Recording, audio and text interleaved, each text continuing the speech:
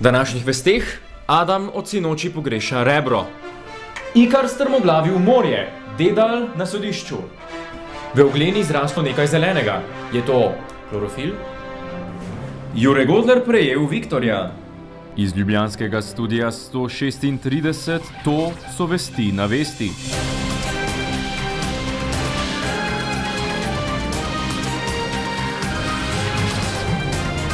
Slovenijo je obiskal vodja evropskih socialistov v Evropskem parlamentu Martin Schulz.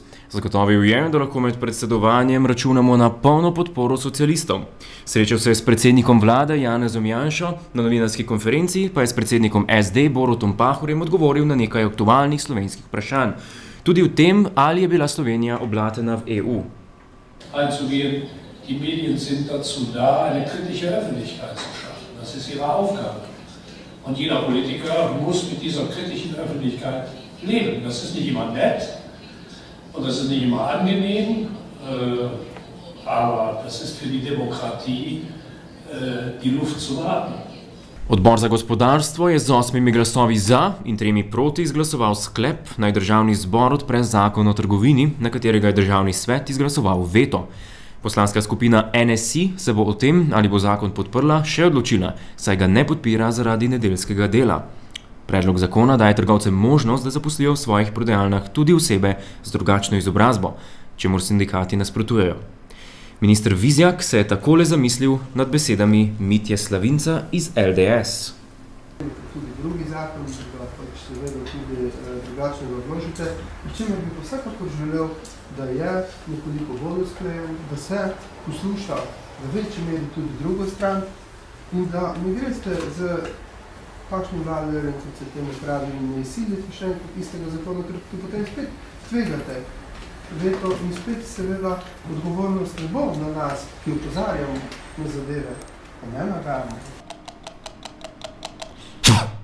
Ljubljanski Zoran Župan Jankovič je spregovoril o zapori mestnega jedra in o protestnem odzivu tamkajšnjih prebivalcev. Na ponedeljkovi seji mestnega sveta, ki je bila prekinjena, so amandmaje predlagali svetniki SDS in NSI. Sprejetih je bilo sedem njihovih predlogov. Jankovič pravi, da je še vedno pripravljen sprejeti rešitve, ki bi bile seveda po njegovem mnenju dobre.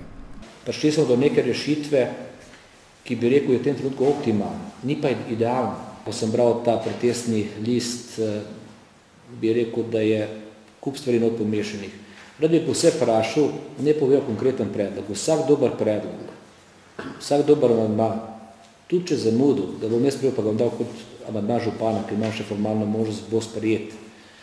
Namreč, zelo preprosto je povedati, tudi anketa, ki smo opravili, pravi 85% Ljubljančanov absolutno podpira to, da ni parkirano na peščevih površinah.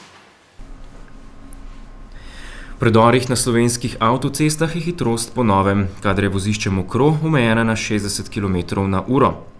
Za zagotovitev potrebnih tornih lastnosti vozišča bo Dars naročil hraplavljanje, ki ga v zadnjih letih uporabljajo Avstrija, Švica in v Švici. Vendar ne samo dobri dve leti po izgradnji. Promet, prometnega ministra Radovana Žerjava smo vprašali, kdo je, odgo, kdo je za to odgovoren. Zagotovo je nešče za to odgovoren in tu je potrebno seveda potegniti poteze, seveda pa bi želel, eh, da analiza svoje pokaže in eh, na osnovi analize se bomo odločili.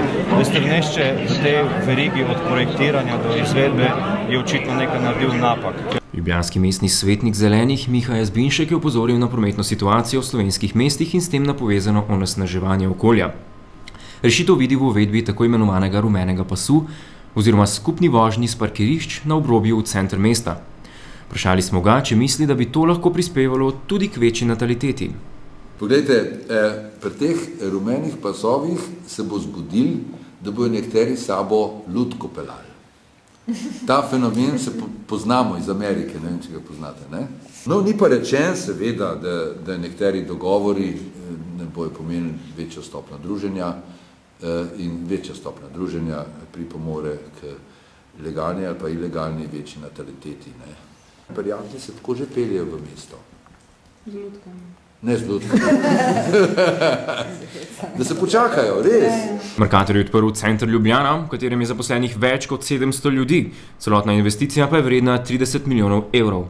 Na otvoritvi je župan Jankovič povedal nekaj ganljivih besed, na to pa sta z direktorjem Merkatorja prerezala trak in množica ljudi je trumoma vstopila v prenovljeni center.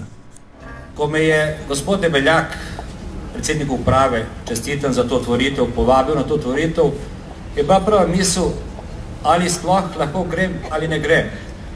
Nisem prišel na to otvoritev zaradi novih lastnikov Merkatorja, uprav Laškega in Istra Benza. Prišel sem na to otvoritev zaradi vas, Ljubljančanov, Ljubljančan, prišel sem na to otvoritev zaradi ljudi, ki delajo v tem centru in ki so ustvarili slovensko trgovino.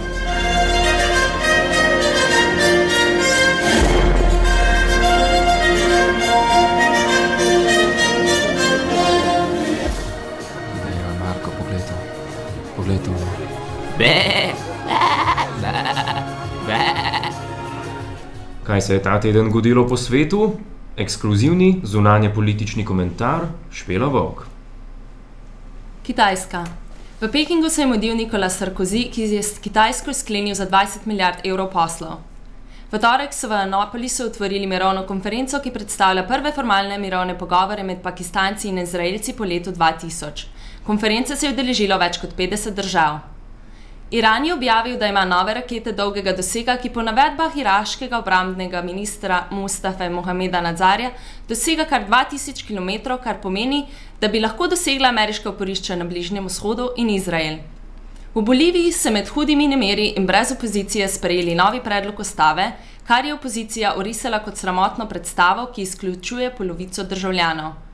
Na otoku je vlada Gordona Brauna v vse večji krizi, saj so mediji odkrili, da med kampanjo nista izginila le dva CD-ja z zaupnimi podatki državljanov, ampak šest. Krizi je pripomogel tudi nov škandal v zvezi s financiranjem laboristične stranke. V Badnu se je odvil zadnji krok neposrednih pogovorov Prištine in Beograda. Albanska in srpska stran sta se zavezali, da se bosta vzdržali nasilja, vendar je albanska stran izjavila, da je pogovorov konec in da bo do razglasitve neodvisnosti prišlo zelo kmalo. Srbija pa je odpovedala misijo OVSE na Kosovu. Hrvaški predsednik Stepen Mesić je v svojem uradne, uradu začel posvetovanja s predstavniki vseh parlamentarnih strank in manjšin, ki bodo sedeli v novi sestavi sabora. Kdo bo vodil hrvaško vlado, še vedno ni znano. V Venezueli je potekal referendum o spremembah ustave, ki jih je predlagal predsednik Hugo Chavez in ki naj bi bile nujne za začetek gradnje tako imenovanega socializma 21. stoletja. Referendum ni uspel, kar je prvi poraz Chaveza od leta 1998. Na parlamentarnih volitvah v Rusiji je z veliko večino zmagala Putinova stranka Enotna Rusija. OVSE je razglasila, da volitve niso potekale v skladu s standardi. Po vsem tem bi se lahko vprašali, ali je s Putinovo vladavino Rusiji res zavladala demokracija, ali referendum Čaveza v Venezueli pomeni vračanje komunizma. Mogoče res, vendar tudi demokracija ni mogoča, če državljani nimajo osnovnih sredstev za preživetje. Če ljudje nimajo kruha, je vseeno, kdo je na oblasti, pa naj bo to demokrat ali diktator. Dan danes vse posod vlada kapital, socialni problemi pa se vedno bolj pometajo pod preprogo, pa naj bo to v imenu demokracije ali pod krinko socializma. Veš, kaj se je zgodilo pa prejšnji teden v Mumbasi? Ne. Čist nič. Slovenija, Slovenija, Slovenija, kultura. V Narodnem muzeju so podelili slovenske nagrade za modno in vizualno ustvarjalnost Trend 2007. Trendovo priznanje za življenjsko delo je prejel akademski kipar, ilustrator, animator in imitator Ohrovta Miki Muster.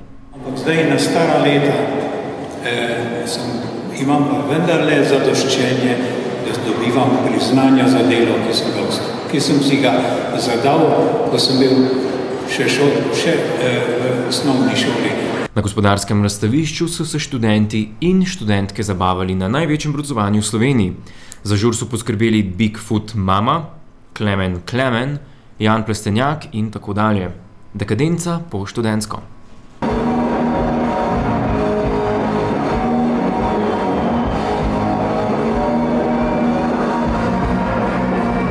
Zdaj punc sem tukaj in tudi zato, da bi najdel si bodočo ženo. Še vreme? Povsod bo lepo, doma pa bo najlepše. Iz Ljubljanskega studia 136 to so bile vesti na vesti. Jutri bo z vami Džingiskan. Ostanite še naprej na naši strani.